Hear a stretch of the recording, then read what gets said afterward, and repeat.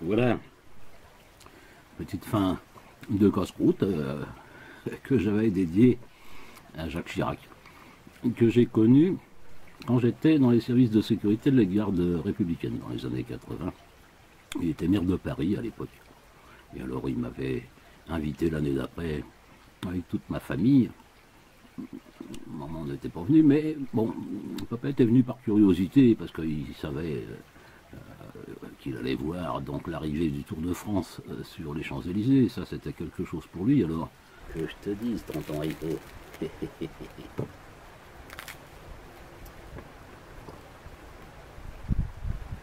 Hum, hum.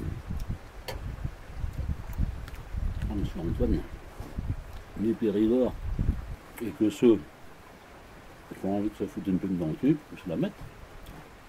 Mais ils ne la mettront pas. Hein. Ah non. Je vois un mec devant la porte. Un dit bien. Le mec qui ressemble à Bernard Ménez. C'était donc mon fameux héritage aussi. Donc il y avait un problème, mais moi je ne savais pas. Et je devais être logiquement son chef. Il s'est travaillé aussi pour le PC de sécurité, et qui faisait le ménage, toujours amené la garde. Alors maintenant,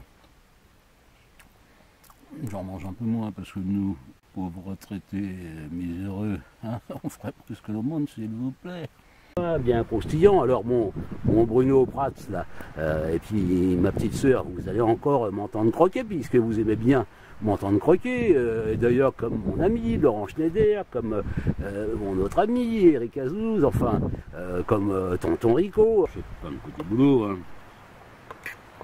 J'ai conduit les, taxis, les ambulances, les autobus, le transport de corps.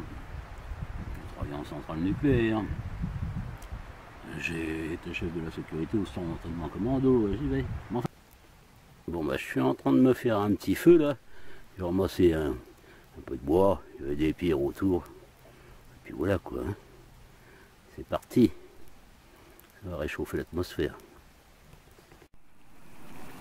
Et puis l'autre là, Joe le cowboy là-bas, Joe la merloc, Voilà, le blondinet qui nous déclenche la troisième guerre mondiale, ce con-là. Oh, quatre phrases que j'ai pas oubliées, c'est marrant, j'en ai resté là-dedans. C'est marrant le cerveau. hein. Et alors, bah, Sosie marche la nuit dans le bois, mais Sosie est un peu heureux. On entend des bruits, hein, il entend le vent dans les arbres, il entend, il voit des silhouettes qui croient être des, hommes. Hein. Il se dit merde, je suis encerclé. Et il dit euh, qui, va là Qui va là? Puis il fait la réflexion les mêmes. Euh, ma peur, à chaque pas, ça croît.